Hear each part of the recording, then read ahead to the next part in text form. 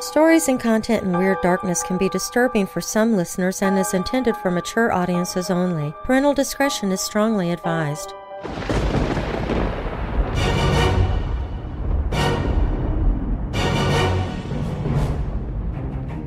Welcome, Weirdos! I'm Darren Marlar, and this is Weird Darkness.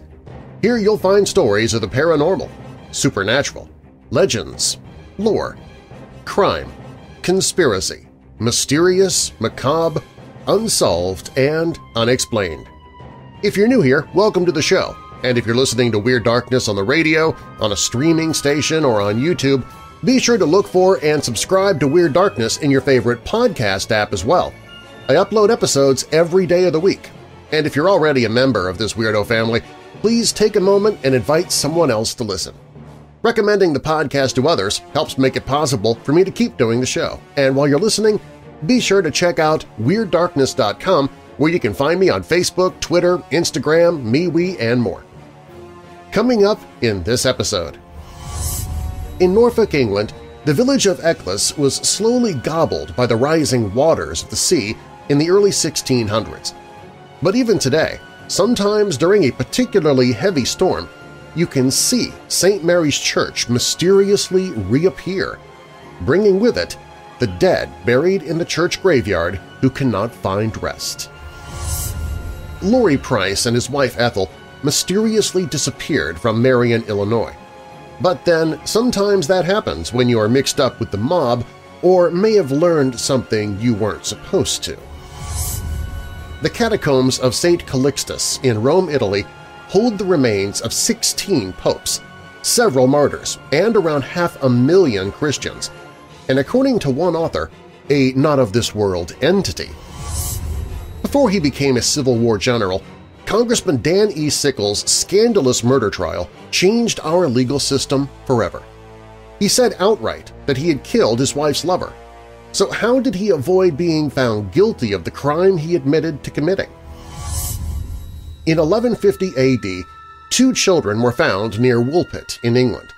They wore strange clothes, spoke oddly, but the most identifiable characteristic for both children was their skin was green.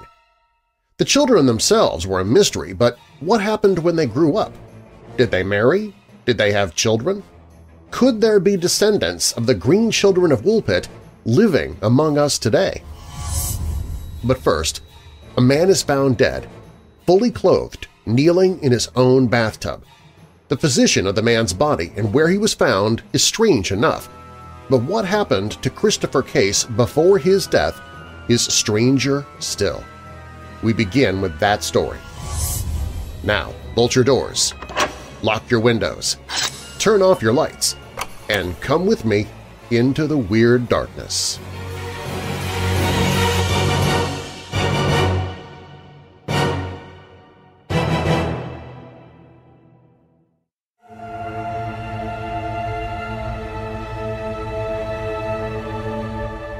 On the morning of April 18, 1991, a 35-year-old man named Christopher was found dead in his apartment. No signs of struggle or fight were found, and even no forced entry. His body was discovered in an empty bathtub, fully dressed in a kneeling position with his head resting on the wall. The death of Christopher Case shook the whole of Washington. When police searched his place, they found a lot of candles, crucifixes, books, salt poured on each and every entry of his home, even windows. When the police further investigated, they heard religious music playing in his room. Maybe to keep his home safe from supernatural powers? The doctors told that he died because of a heart attack. Looking at his place, it doesn't seem like a natural death. Everything pointed towards something paranormal. Was it really a heart attack? Or some supernatural powers which scared him to death? Christopher was a 35-year-old, intelligent, and sophisticated man who grew up in Richmond, Virginia. He was a small-town radio DJ. He was very much passionate about his music, so he decided to move to Seattle, Washington to start a new career as a music executive, where he worked for Muzak Holdings. Christopher made a lot of new friends in Seattle, but never lost touch with the old ones. He was single for a long time as he was used to traveling a lot because of his work and lived alone. He was a fitness zealot, used to take his vitamin supplements regularly. He didn't have any serious health issues, and he used to exercise regularly. Then what happened which made him do all of this? Why was he afraid? April 11, 1991, seven days before his death, he had a meeting in San Francisco with other music executives. He was introduced to an older woman who shared her ancient music interest with him. She seemed interested in him as well and asked him to take her home. He refused her politely as she was his senior. This rejection made her angry, and she told him something creepy, that she was a witch and cursed him and that he would die within a week. Christopher, of course, did not take this seriously as he did not believe in any supernatural things. He went back to his home in Seattle the next morning. After a couple of days, he completely forgot about the incident. On April 14th, he called his friend Sammy and told her that he wasn't able to sleep at night because of strange whispers, footsteps like someone was watching him. On April 16th, he again called his friend to tell her how he got attacked last night when he was sleeping he told her that someone was trying to suffocate him by unseen hands. After some time, he also noticed some cuts on his fingers and bloodstains on his bedsheet. In the morning, he went to a religious bookstore and picked a handful of crucifixes.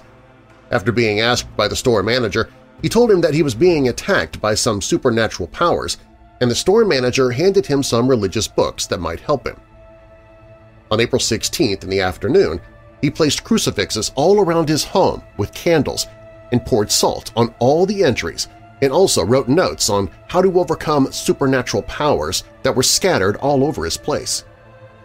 On April 16th, in the evening, something strange happened, which is not clear even now, but he was so frightened that he left his home to stay in a hotel.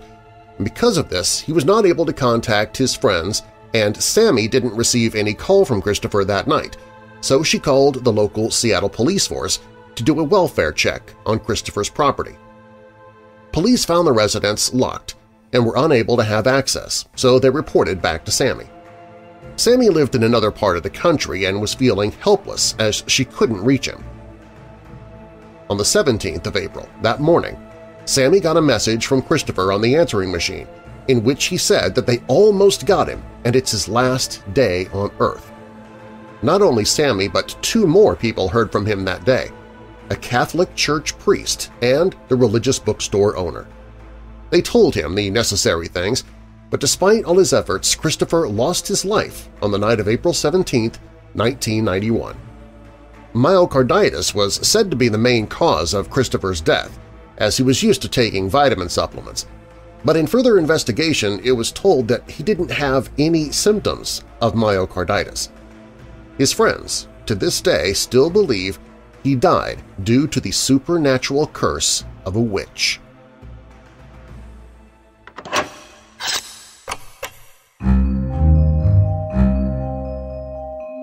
In 1859, Congressman Dan Sickles pulled out a pistol and shot his wife's lover. Standing in full view of the White House, Sickles screamed, "'You scoundrel! You have dishonored my house! You must die!'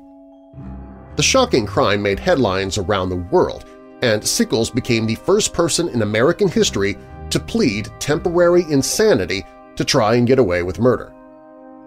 The son of a wealthy New York family, Dan Sickles earned a law degree and seduced a teenager before he was elected to Congress. Sickles was 33 when he married 16-year-old Teresa Bagioli. When he was elected to the House of Representatives in 1856, the couple took Washington, D.C. by storm, becoming fixtures in high society. Both Dan and Teresa pursued affairs. Dan also had a reputation for visiting brothels, but only Teresa's dalliance raised eyebrows. In the 19th century, a wife's affair transformed her husband into a cuckold, undermining his masculinity, while a husband's affairs were simply business as usual. According to Dan Sickles, Teresa's affair drove him to murder. Beginning in the spring of 1858, Teresa carried on an affair with Barton Key, a close friend of Congressman Sickles and the son of Francis Scott Key who penned the lyrics to the Star-Spangled Banner. One D.C. gossip columnist called Key the handsomest man in all Washington society. Key signaled Teresa by waving his pocket handkerchief on the street. The pair would meet at an abandoned house only steps from the White House, where Teresa confessed, I did what is usual for a wicked woman to do. Everything changed on February 24, 1859, when Sickles received an anonymous letter. The enraged congressman confronted Teresa and forced her to write a confession. Three days later, Sickles spotted Key outside his home, waving his handkerchief to signal Teresa. That villain is out there now making signs, Sickles raged. Grabbing three guns, Sickles rushed out to confront Key. Sickles fired his pistol before Key could say a word. Key threw a pair of opera glasses at Sickle and tried to hide behind a tree, but Sickles continued to fire until a bystander wrestled him to the ground. Sickles had gunned down Key in Lafayette Park on a sunny Sunday afternoon. With no chance of escape, Sickles took a carriage to the home of Attorney General Jeremiah S. Black, where he surrendered. The sensational murder became front-page news. The tragic affair produced a great sensation, reported the New York Herald. In the streets, the law courts, public houses, private dwellings, and, in fact, everywhere, it was the prominent topic of conversation. Even President James Buchanan took sides in the sensational case. He sent a letter of support to the imprisoned congressman. From jail, Sickles gave interviews with the press.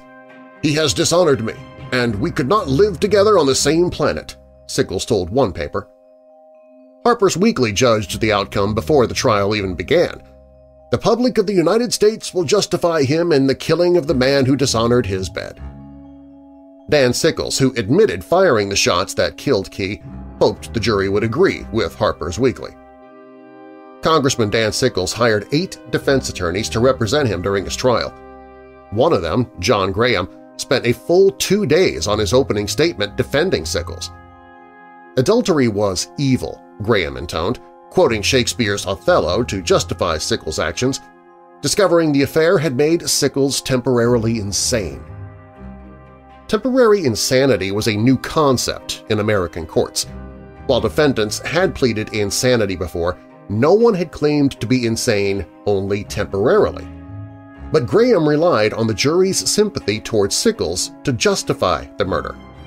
It may be tragical to shed human blood, but I will always maintain that there is no tragedy about slaying the adulterer, Graham argued. The trial also painted Teresa Sickles as a prostitute and murderer. A wife who surrendered to the adulterer longed for her own husband's death, one defense attorney argued, either by the cup of the poisoner or the dagger or pistol of the assassin. Another attorney added that the affair pulled Teresa toward the horrid filth that is common prostitution. Dan Sickles painted himself as the avenger of the invaded household. His wife was an immoral woman and Key deserved to die. Was the murder of Key justifiable homicide or temporary insanity? Dan Sickles' attorneys argued both at the same time. The presiding judge didn't put much stock in the temporary insanity defense. In his jury instructions on April 26, Judge Crawford warned the jurors that a gap between Sickles' learning of the affair and killing Keys weighed the scales toward premeditated murder, and in fact Sickles had spent three days plotting his revenge after receiving the anonymous note. Yet it only took the jury an hour to declare Dan Sickles not guilty by reason of temporary insanity. The packed courtroom burst into applause, and 1,500 people led Sickles through the streets in an impromptu victory parade. From the start, many predicted Sickles would walk for his crime. During jury selection, 72 of the first 75 prospective jurors were excused for sympathizing with the murderer. We regard this as a most mistaken and most mischievous verdict, declared the Tribune, it's a verdict which carries this country a long stride backwards toward the age when might was right and all wrongs were redressed by the red hand or not at all. The trial turned Dan Sickles into a nationally known figure. But his actions after the trial kept Sickles in the headlines for decades. Shortly after his acquittal, Sickles and his wife Teresa publicly reconciled, drawing criticism from their peers in Washington and in the press.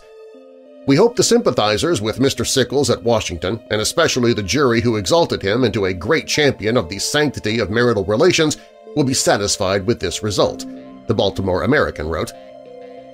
Next, Sickles left his congressional seat in 1860, quickly turning around to raise a brigade of men for the Civil War.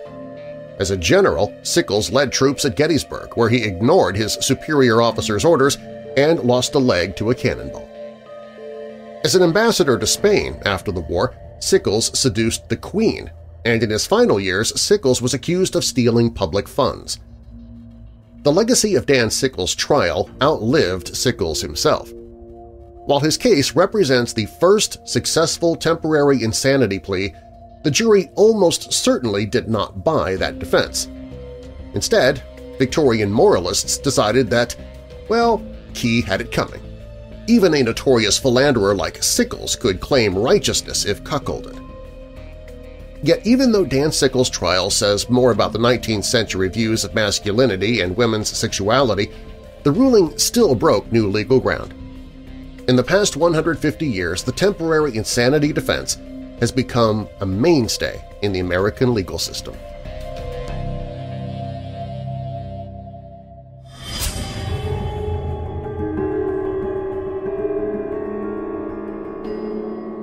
Up next, in Norfolk, England, the village of Eccles was slowly gobbled by the rising waters of the sea in the early 1600s.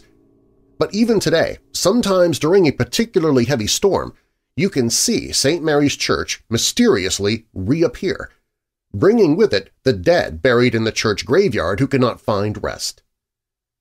Also coming, Lory Price and his wife Ethel mysteriously disappeared from Marion, Illinois, but then sometimes that happens when you're mixed up with the mob or may have learned something you weren't supposed to.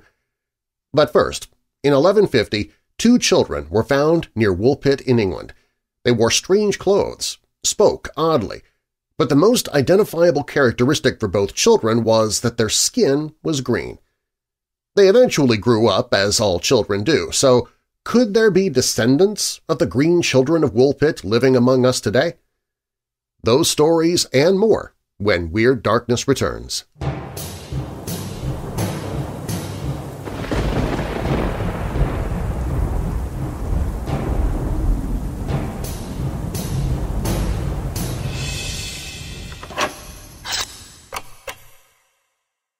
My doc agrees that I need to lose a few pounds. I knew that going in. But he also told me that the meds I'm taking for my type 2 diabetes aren't going to do me much good if I finish each meal with ice cream or cheesecake. I kinda knew that in advance too. But cutting back on carbs and sugars is, is a lot easier said than done. I've tried a lot of protein bars while on the road, but I swear it's like eating non-sweetened chocolate-dusted particle board. But now I travel with Built Bars. Built Bars taste like candy bars. In fact, I'm now using them for my dessert and at about 150 calories per bar, less than 3 grams of sugar, up to 19 grams of protein, I can satisfy my sweet cravings guilt-free. Visit WeirdDarkness.com slash built and try a box. You can go for a variety pack of several flavors to try or pick and choose to build a box of your own. Use the promo code WeirdDarkness at checkout and get 10% off your entire purchase. That's WeirdDarkness.com slash built.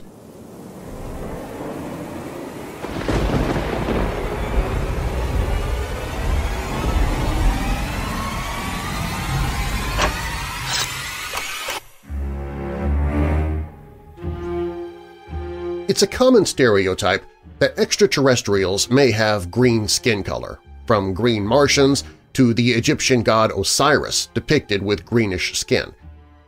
Ancient Celtic mythology often depicts the Green Man dating back before the Roman Empire. And in 12th century England there is the story of the curious Green Children of Woolpit. The story appears to have been based on real people who may even have descendants today – the story is woven together from accounts by two famous English chroniclers, William of Newburgh, a monk from the Augustinian Priory of Newburgh, and Ralph of Coggeshall, a monk of the Cistercian Abbey.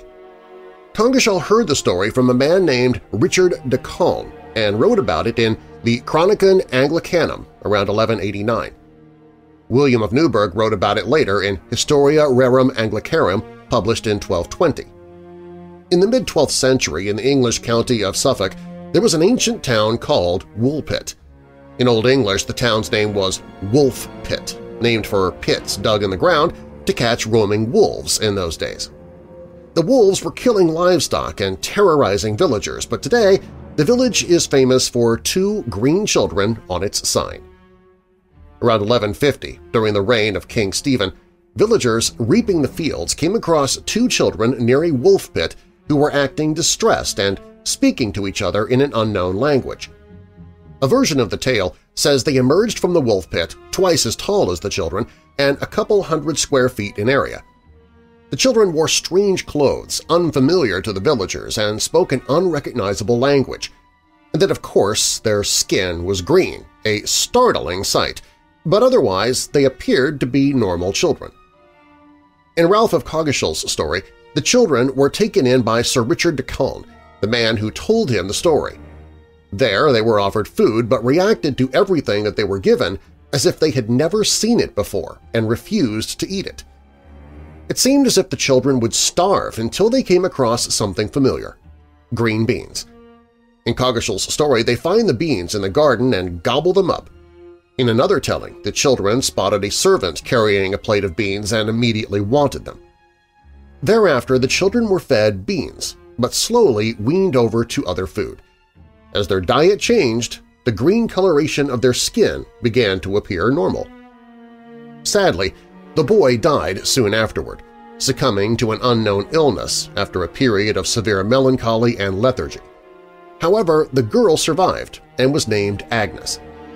As she adjusted to her new life, she learned English and could finally answer questions about where she and her brother had come from. According to Historic UK, Agnes said, "'We are inhabitants of the land of St. Martin, who is regarded with peculiar veneration in the country which gave us birth. We are ignorant of how we arrived here. We only remember this, that on a certain day, when we were feeding our father's flocks in the fields, we heard a great sound, such as we are now accustomed to hear at St. Edmund's when the bells are chiming, and whilst listening to the sound in admiration, we became on a sudden, as it were, entranced, and found ourselves among you in the fields where you were reaping. The sun does not rise upon our countrymen, our land is little cheered by its beams, we are contented with that twilight which among you precedes the sunrise or follows the sunset. Moreover, a certain luminous country is seen, not far distant from ours, and divided from it by a very considerable river. Another version of the story says the children were herding their father's cattle and heard the bells, then entered into a cave and came out into Wolfpit. They couldn't find their way back and were discovered by the villagers. Agnes was baptized and lived and worked for Sir Richard, and later was married to the Archdeacon of Ely, Richard Barr. The couple had at least one child, thus her descendants may exist today. According to the East Anglian Daily Times, Agnes was known for her very wanton and impudent behavior while in the employ of de Calne, and that Richard Barr was a man from King's Lynn in Norfolk, then a senior ambassador for Henry II. It is said that England's blue blood, even today, has a green tinge through Agnes's bloodline. The source claims that finding the descendants has been tricky, perhaps a carefully guarded local secret. In 1978, local author and folk singer Bob Roberts wrote in A Slice of Suffolk that I was told there are still people in Woolpit who are descendants from the Green Children, but nobody would tell me who they are. To this day, mystery surrounds this story, and many people believe these children came from another world or another dimension. Is it possible they came through some sort of portal and ended up in the relatively densely populated English town? Did they really come from a twilight place where everyone had green skin? Why were they so unfamiliar with bright sunlight? Why did they only recognize and accept green beans, refusing other foods? Lastly, if they were ordinary children, why didn't any relatives ever try to find them? Now, it's clearly much more fun to imagine the green children came from another realm, and historically there are similar ancient tales of celestial beings who existed in an underground or hidden world accessed via portals or fairy rings at ancient megalithic structures. The Tuatha De Danann of Ireland was a pre-Celtic Irish tribe of legends that say they were shining beings forced to remove themselves to the underground. They may have been driven away by the Celts, who often depicted the Green Man. Today, the Tuatha live on in modern fairy tales and epic movies and novels about elves such as Lord of the Rings. The more likely explanations, and one that echoes a dark fairy tale called The Babes in the Woods tale, first published in 1595. According to The Guardian, it told the story of a wicked uncle who hires a couple of murderers to kill his orphaned niece and nephew, because if they die young, he will inherit their estate. The assassins take pity on the children and abandon them in the wood, where they get lost, starve, and eventually perish. Another theory along the lines of this terrible tale is that the children were poisoned with arsenic by an earl from Norfolk, which tinted their skin green. An interesting side note, in the 19th century, arsenic and copper were used to dye fabrics green. Paris green and Scheele's green were popular colors worn by the social elite in Europe. Arsenic was also found in candy, paper, toys, wallpaper, and medicine before people knew that it was deadly toxic.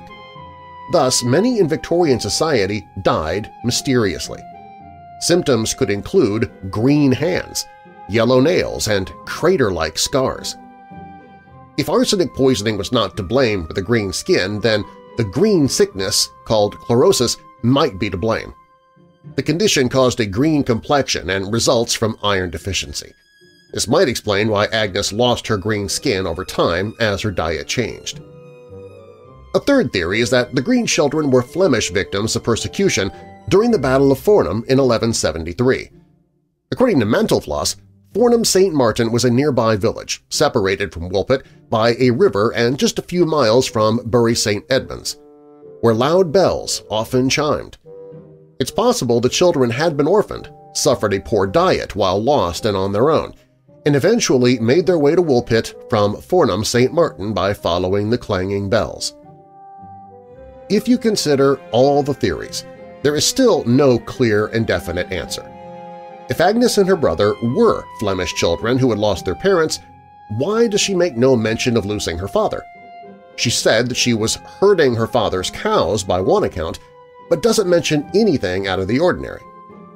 Why does one account suggest that the green skin coloration was the norm in their place of origin? And lastly, how did the children end up in a pit in the ground after traveling through a cavern? Abundant questions remain about the Green Children of Woolpit, which makes it a fascinating mystery even today.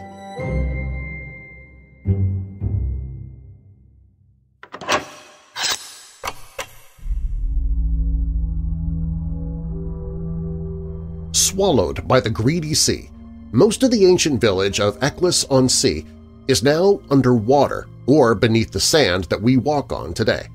All that is left of another of Norfolk's vanishing villages is the pre-war Bush estate, which hides behind the sand dunes. The thriving medieval village that was once here is now beneath the waves or underneath the sand. St. Mary's Church was one of the last survivors of the village lost to the North Sea. Some say you can still hear its bells ringing underwater as you sail by probably built during the 12th century with a belfry added 200 years later, St. Mary's appears to have been in use until the late 1500s. Three horrific storms in 1570 wiped out swaths of the village houses and left the church in a dreadful state of disrepair and led it to being largely dismantled. The tower, however, was left standing, a useful sea mark to aid navigation for passing ships, in 1605, villagers in Eccles presented a petition to Norwich Quarter Sessions for a reduction in their taxes, pointing out that advancing seas had gulped down a thousand acres of their land, half of what they had, and left only 14 houses and the church in ruins. By the beginning of the 18th century, the church was on the landward edge of the dunes, but sand began to bury it, leaving only the octagonal belfry visible. but unusually high tides on Boxing Day 1862 carved into the sandhills and left the tower exposed, once again, like a late Christmas gift for the villagers of Eccles. From this moment it led a colorful life, sometimes partially covered in drifts of sand, other times laid bare by scouring tides. Families and artists sought it out for picnics or a subject matter and became known affectionately as the Lonely Sentinel, and as such a fashionable place to visit.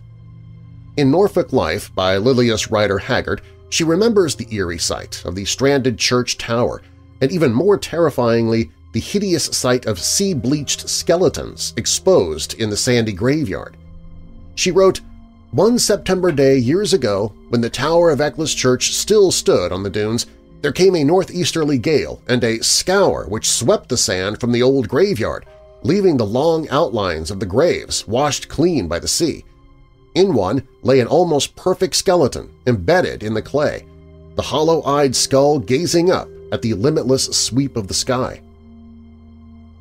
Until 1895, the tower was one of Norfolk's best-known landmarks and a constant reminder of the ever-encroaching North Sea. A dreadful gale on January 23, 1895, the worst in living memory, finally sunk the tower for good. Author Ernest Suffling, who lived at next-door Happisburgh, tried to light his pipe inside the tower as the storm began to gain momentum. That I was the last to enter the old tower is certain, as during the night the wind increased greatly in force, and the next day blew with such hurricane violence that the tower was continually surrounded by the sea, he wrote. The next day, an Eastern Daily Press correspondent wrote, On visiting the scene, the desolation presented to one's view is appalling. Within months, most of the flint masonry of St. Mary's had been swept away or covered in sand, until only a few large sections remained. Often completely buried, the church was remembered every year by an annual beach service held at the spot on the August Bank holiday Sunday. David Stannard, who was previously a geologist in the offshore industry but has also worked as a lecturer at City College Norwich and in local government in Great Yarmouth before becoming an amateur archaeologist, author, and historian, happened upon the ruins of St. Mary's during a particularly low tide in 1986. He said if you go down the beach on a Saturday evening when it's getting dark and there is the ruin of a church and a circle of flints in the sand, you can only think, how did that happen? The only reason we saw anything at all, he continued, was the sea scouring away the area. What was exposed was foundations, cart tracks in the clay, Roman pottery, skeletons in graves, and these wells. Between 1986 and 1996, telltale flint circles or rings of clay bricks in the sand gave away the locations of 11 wells, which, at the end of their useful life, had become medieval toilets and rubbish dumps, creating a time capsule of history beneath the Eccles sands. But at Eccles, the ruins have not been seen since about 2000 after the Environment Agency's urgent work to build an offshore rock reef and recharge the beach to protect homes and property. I don't think I'll see St. Mary's Church again in my lifetime, but who knows, Mr. Stannard added. And what of those drowned bells tolling beneath the waves before storms? In May 1930, Lieutenant Commander R.N.A. Brooks, the captain of the HMS Boyna, reported hearing a bell at around 9.30 in the morning close to Eccles and having heard the stories in Dunwich of underwater bells similar to that, wrote to the EDP. When abreast of Sea Palling, at about 9.30 a.m., I very plainly heard one stroke of a deep-toned bell. Have any of your readers heard any superstition of Eccles church bells being heard at sea? read the letter. According to Mr. Stannard, it is unlikely that spectral bells are chiming beneath the waves – Firstly, the bells were probably sold off by the lord of the manor, Thomas Brampton, in 1571. Secondly, there are no mention of bells from any of the Victorian tourists' reports, and thirdly, St. Mary's Tower is now 30 feet below the sand.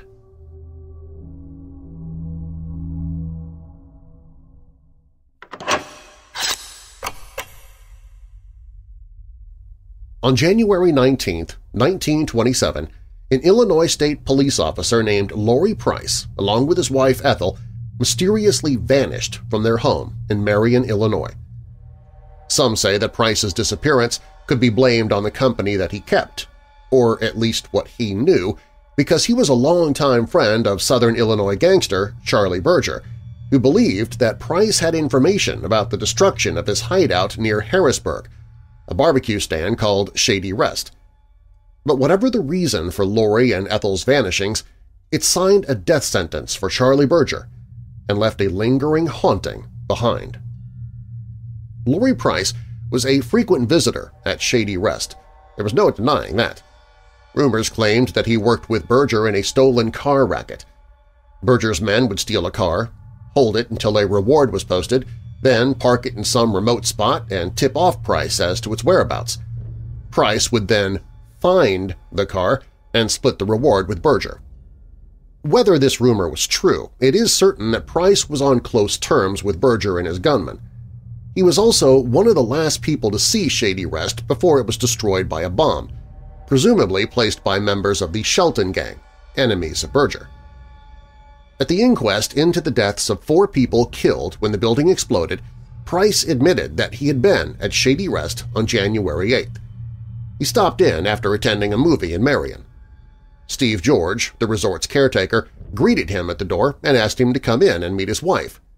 While there, Price noticed a man he had never seen before sitting, apparently half intoxicated, near the fireplace.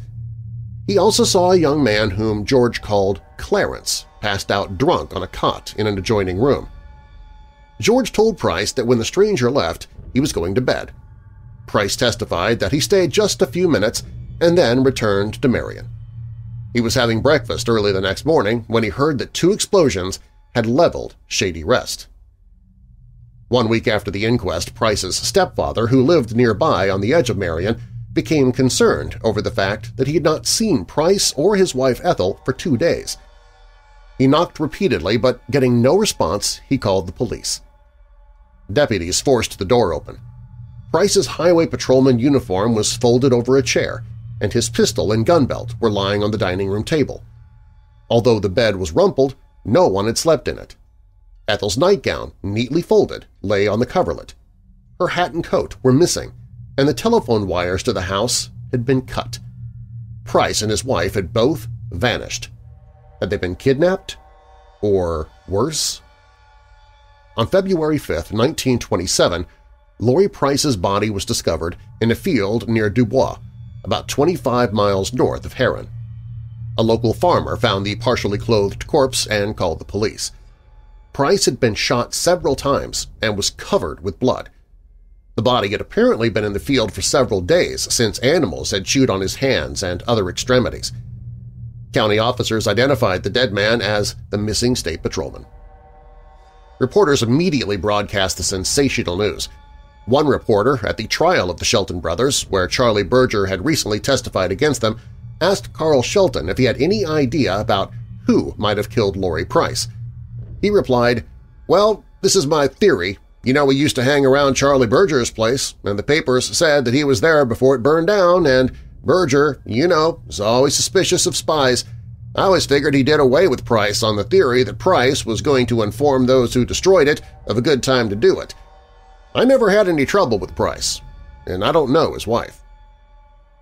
Charlie Berger could not be reached for comment. Investigators for the Illinois State Police continued to work the puzzling case, but would not get a break until May 1927.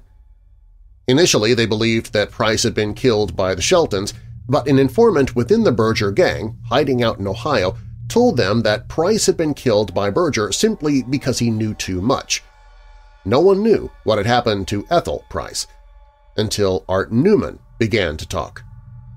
Newman was a trusted Berger gang member who had gone on the run to California when things became too hot in Illinois.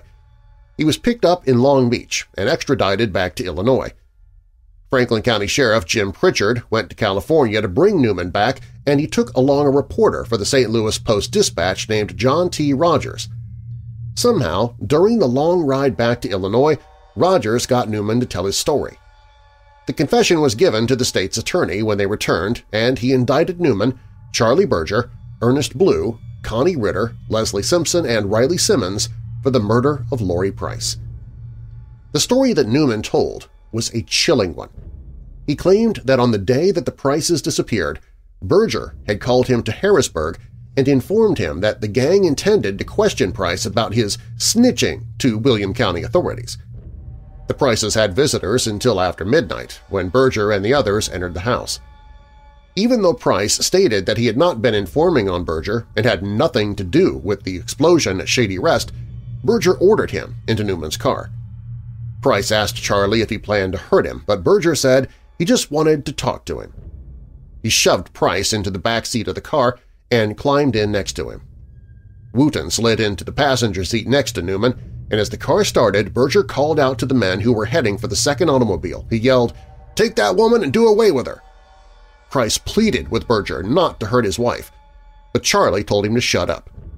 He ordered Newman to keep driving, and then he began to question the patrolman about everything he suspected about him. Price was an informant, Berger declared, and there was nothing worse than a disloyal friend. He ordered Newman to drive them to the ruins of Shady Rest. They arrived around 2 a.m., and Berger dragged Price out of the car. Price denied again that he had betrayed the gang, but Berger shot him three times. Just then, the second car of the gangsters pulled onto the road next to the ruins. Wooten panicked, certain that Ethel Price had seen the murder of her husband. One of the newcomers climbed out of the car, heard the conversation, and told them not to worry about the woman. They had killed her. When asked what they had done with her, the man replied, We shot her and threw her into a mine shaft near Carterville. Berger proposed putting Price's body in the same shaft, but gang members told him that they had dumped metal and timbers down over her to hide the body. Berger thought for a moment and then suggested another mine near DuQuoin, but when he suggested putting the bloody and still-breathing Price back into the car, Newman claimed that he balked. Berger flew into a rage and said that he would kill any man who didn't go along with him. Price was tossed into the back seat of Newman's car, and Berger climbed in after him, weapon still in hand, and sat down on top of his body. Near Carbondale, he ordered Newman to stop the car. He hurried to the side of the road and began to vomit. He gasped out words when he was able to speak again. "'That's too much for me. I can kill a man, but I can't sit on him. I don't know what in the hell's the matter with me. It, it isn't my nerves. Every time I kill a man, it makes me sick afterward. I guess it's my stomach. Berger switched places in the car with Connie Ritter, and a few miles down the road Price regained consciousness and pleaded with Ritter, swearing that he was an innocent man. Ritter told him to shut up, or he would turn the machine gun on him. A few miles later, Price spoke again, his voice almost a whisper. Connie, you'll live to regret this. Berger ordered Newman to drive to a nearby mine, but finding a watchman on duty scrapped the plan. Eventually, they dumped Price in the field where he was later found. Berger shot him several more times to make sure that he was dead. On the way back to Harrisburg, one of the men who had kidnapped Ethel Price allegedly told Newman that he and the others had taken her to the abandoned mine, shot her, and then had thrown her body to the bottom of the shaft. Then they'd covered it with timbers, stones, and debris. No one, he claimed, would ever find her. But of course that turned out to be wrong. As soon as the gruesome story of Ethel Price's fate was made public, workers began removing the debris that Newman said the men had used to clog the shaft of the old Carterville District mine. A crowd of onlookers began to gather as the opening deepened and miners with picks and shovels worked relentlessly to clear the way. Lines formed and buckets filled with dirt, rocks, and other debris began to be passed upward from hand to hand, dumped, and then passed back down again. County officials and Sheriff Orrin Coleman labored alongside the outraged citizens who came to volunteer their help. As darkness fell, lights were strung up over the pit, illuminating the ghastly scene. Work continued throughout the night and into the next morning, only stopping briefly during a rainstorm that came during the early hours. By Sunday afternoon, June 12th, the men had achieved a depth of nearly 30 feet. Planks were nailed on telephone poles that had been laid across the opening earlier in the day. From this platform, it was easy to lower buckets down into the shaft in order to haul the debris up even faster. Early Monday morning, Ethel Price's body was finally found. She was taken to the Osbent Funeral Home in Marion, and the surrounding streets had to be cordoned off to keep back the curiosity seekers. Her funeral was held two days later. For many years after the discovery of Ethel Price's body, the area around the abandoned shaft of the old Carterville District mine was largely avoided by people in the vicinity. Even teenagers looking for a thrill on a late Saturday night were afraid to go there. According to a friend of mine who grew up nearby, many were convinced that the ghost of Ethel Price haunted the place. Stories circulated of a woman in a white dress who was sometimes seen around the site of the old forgotten shaft. She reportedly wept in despair, and those who dared drive too close to her sometimes claimed that she threw herself at the windows of the car, begging to be let inside. The stories continued for many years and are sometimes recounted even today. Thankfully, though, current reports of a lingering spirit here have been few. We can only hope that Ethel Price is finally resting in peace. As it turned out, the discovery of Ethel Price's body was the downfall of Charlie Berger. Public opinion, which often painted him as sort of a folk hero, turned most people against him. After Ethel's body was found, Berger was moved from the jail in Benton, Illinois to the Sangamon County Jail in Springfield. His attorneys had already appeared before a judge and requested the change of venue, but the charged atmosphere surrounding the search for Ethel Price made it clear to Sheriff Pritchard that a lynching might occur if Berger remained in Benton. Berger arrived in Springfield on the very day that Ethel's body was removed from the bottom of the Carterville mineshaft. Reporters were waiting for him when he stepped out of the automobile that had been used to transport him. He shook his head at them as they shouted out questions. He only had one statement to make, I'm done. Berger was eventually prosecuted for murder. Not for Lory and Ethel Price, though, but for that of Joe Adams, the mayor of West City, Illinois. He went to the gallows in April 1928.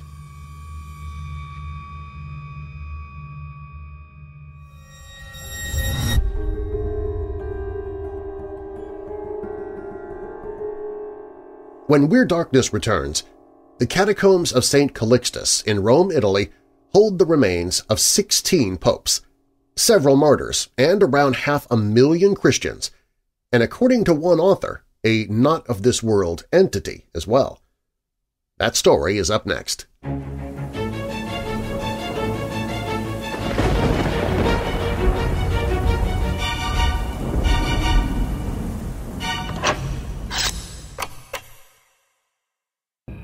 The Chilling True Terror of the Black-Eyed Kids, a monster compilation by G. Michael Vasey. The Black-Eyed Kids are an urban legend of vast proportions, the stories of small children turning up on people's doorsteps all across the world, spreading fear and terror have only increased over time. This compilation of G. Michael Vasey's books on this scary phenomena include new material and new true stories as well as the complete texts of The Black-Eyed Demons Are Coming and The Black-Eyed Kids. Supernatural expert G. Michael Vasey carefully investigates this truly terrifying phenomenon using real-life encounters with these scary supernatural beings. The result is an unsettling and sometimes terrifying book that'll have you fearfully anticipating that knock at your door, late at night. Who and what are these mysterious visitors to the doorstep? Are they demons? Aliens? What do they want? Why do they need to enter your home? And what happens if they do? Small kids that ask to use your phone or for a ride, and yet those who encounter them are scared to death even before they notice their black eyes. The chilling true terror of the black-eyed kids, a monster compilation by G. Michael Vasey, narrated by Weird Darkness host Darren Marlar. Hear a free sample on the audiobooks page at WeirdDarkness.com.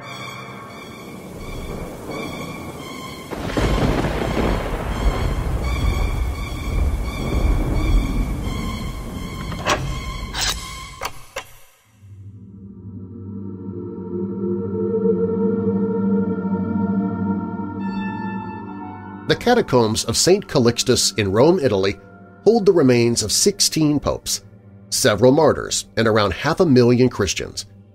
Nine of those popes were buried in the famous Crypt of the Popes. The underground burial chambers, named after Callixtus, who at the time of their construction was the deacon of Rome under Pope Zephyrinus, have long been a popular tourist attraction. Callixtus was later elected pope and eventually martyred for his Christian beliefs. Those who visited this rather gloomy place say they experienced something strange here. Among these people are two authors who report a very strange encounter with a mysterious entity they believed was not of this world. What did they see? And why were they under the impression this being was not of this world? Did they accidentally catch a glimpse of someone from another reality? There is one particular aspect of this case that makes the experience very unusual to say the least. Lionel and Patricia Fanthorpe have investigated the world's unsolved mysteries for more than 30 years and are the authors of 15 best-selling books. In their fascinating book, Mysteries and Secrets of Time, they recall a highly unusual sighting of a being who was present inside the catacombs of St. Callixtus. Lionel was visiting the catacombs together with Patricia, and they were both behind the rest of the party. They were so far away from the rest of the other tourists that they could still see them, but both authors are convinced no one, absolutely no one, was behind them. According to their own testimony, Lionel and Patricia were not walking side by side. Lionel was about 30 meters behind Patricia, and she was far behind the party in the catacomb. Lionel remembers how he suddenly became aware of someone's presence right behind him. In their book, the authors write, The tall stranger behind him in the eerie darkness of the Callixtus catacombs was not of this earth, but he was nothing hostile or negative. If he gave off any psychic atmosphere at all, it seemed to be curiosity. He seemed to be asking politely enough who Lionel was and what he was doing there. Lionel also got the impression that the entity was probably an ordained deacon or priest. He was wearing a tall, pointed hat like a traditional wizard from legend and folklore, and a long cape, which, together with the hat, gave the outline of a tall, upright cone. The cloak and hat were black, but they shone, gleaming and glistening as though something bright and sparkling was woven into them. When Lionel turned to look more closely at the entity, he could see nothing. It was one of those apparitions that is restricted to peripheral vision. Because as a priest, Lionel is frequently called upon to conduct funerals and regards comforting and helping the bereaved as one of the most important parts of his priestly work, he wondered whether the entity that had looked over his shoulder down there in the solemn silence of the Callixtus catacombs had also been a priest, one who had laid to rest the mortal remains of those that lay there. The experience made a big impression on Lionel, who tried to make sense of who he had encountered in the Callixtus catacombs. In time, Lionel became convinced the mysterious stranger must have been an early Christian funeral priest. This puzzling encounter raises many intriguing questions. Listeners who believe in the existence of ghosts will most likely say Lionel witnessed a spirit or phantom of some sort. As mentioned on several occasions, the number of scientists who promote the multiverse theory is steadily increasing.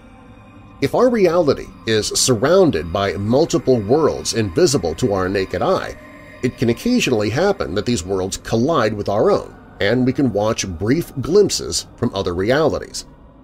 Lionel and Patricia wonder if the encounter in the catacombs could have been a time slip. In their book, the authors ask, did a priest from the 3rd or 4th century encounter a fellow priest from the 21st century? Did a man who had done his best to help the bereaved 17 centuries ago glide through a mysterious portal in time to encounter a kindred spirit doing that same work today? Assuming this was a time slip, it cannot be denied it was a very different experience than most time-slip cases reported worldwide. What's unusual about this particular case is that Lionel saw the mysterious being once again, but this time not in the catacombs. When Lionel and Patricia returned to their hotel, the sightings continued for the next 36 hours. Lionel saw brief glimpses of the same entity that simply wasn't there in physical form. Lionel, who thought this must have been a priest, says the man seemed to be surrounded by animals, most likely sheepdogs or tamed docile wolves. As time passed, Lionel's peripheral visions faded until they were completely gone, and he could no longer see the unknown stranger anymore. Lionel and Patricia think the experience was most likely a time slip and not an encounter with a ghost. As a theologian, Lionel had a great deal of sympathy for Callixtus, and he has wondered whether the entity he encountered could have been the deacon himself. In their book, Lionel asks, could that strange figure looking over Lionel's shoulder in the catacomb have been Callixtus himself, from the days when he was the deacon responsible for it? Did Callixtus sense that this British priest visiting these ancient Roman burial places from a century 1700 years ahead of his own was a tolerant, kindred spirit, potentially a theological comrade in arms who would stand beside him in his dispute with bitter opponents who held cruder, narrower, less merciful views? These are valid questions, and the reasoning is logical. But let's not forget that most who report time slips have no relation with the places or people they witnessed.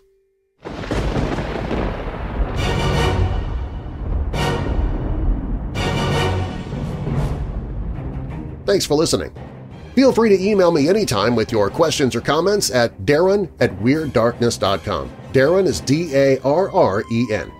You can also find all of my social media and a link to the Weird Darkness Weirdos Facebook group on the contact page of the website. If you're listening to Weird Darkness on the radio, on a streaming station, or on YouTube, be sure to subscribe to Weird Darkness in your favorite podcast app too, where I upload episodes seven days a week. I'd also appreciate you leaving a review of the show in the podcast app you listen from. And if you're already a weirdo, please take a moment today and share Weird Darkness with someone you know who loves paranormal or strange stories, true crime, monsters, or mysteries like you do. Do you have a dark tale to tell of your own? click on Tell Your Story on the website and I might use it in a future episode. All stories in Weird Darkness are purported to be true unless stated otherwise, and you can find source links or links to the authors in the show notes. The Callixtus Catacombs entity was written by Ellen Lloyd for Ancient Pages. The Cursing of Christopher Case is by Granur Kaur for Conspiracy Theories. The Disappearing and Reappearing Village of Eccles is by Stacia Briggs for Eastern Daily Press. The Vanishing of Lory Price is by Troy Taylor from his book Bloody Illinois. Great-Grandkids of Green Children is from Ancient Code. And How a Congressman Got Away with Murder is from Genevieve Carlton for All That's Interesting. Weird Darkness is a production of Marlar House Productions. And now that we're coming out of the dark, I'll leave you with a little light.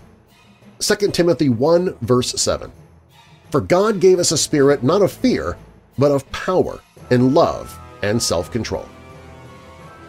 And a final thought, how beautiful it is to find someone who asks for nothing but your company. Bridget Nicole I'm Darren Marlar. Thanks for joining me in the Weird Darkness.